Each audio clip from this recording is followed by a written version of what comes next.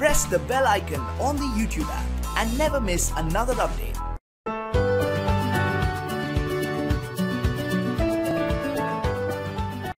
Hi guys, this is JB Techno. Today I'll be sharing with you how BitTorrent works.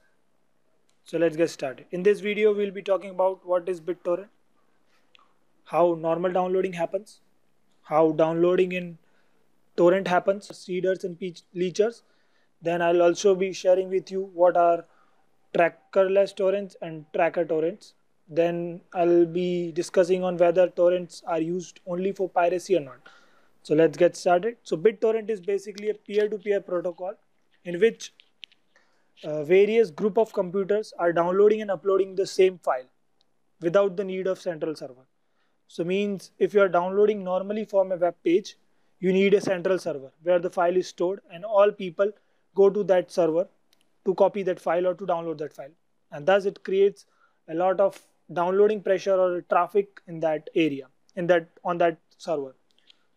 So basically, BitTorrent uses peer-to-peer -peer uh, protocol in which it creates a group of group of computers who, who are downloading and uploading the same things, same uh, file.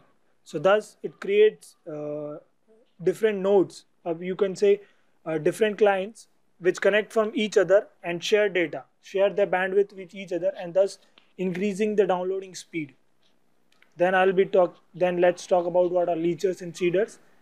So when you are connected to a torrent and if you have completely downloaded your file and still you have kept that file and still you are connected to that torrent, that means you are a seeder. So basically you are increasing the speed or you are contributing your speed to another uh, downloader.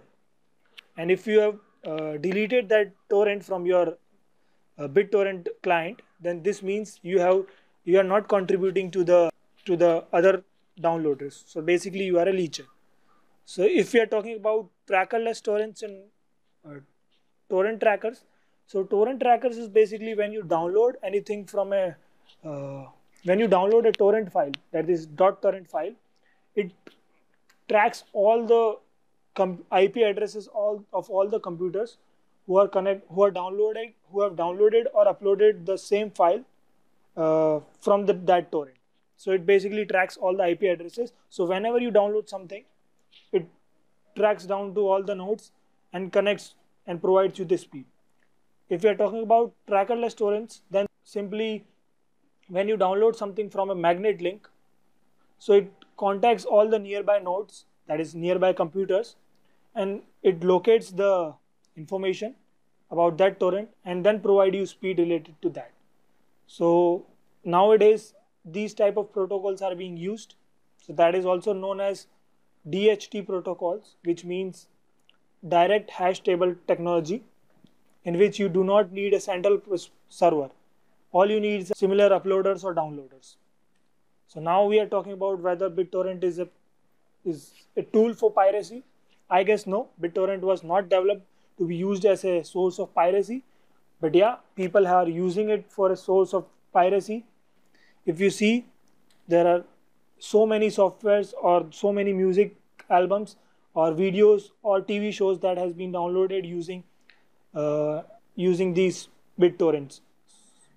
So that's all. Thank you so much for watching. Please like, share.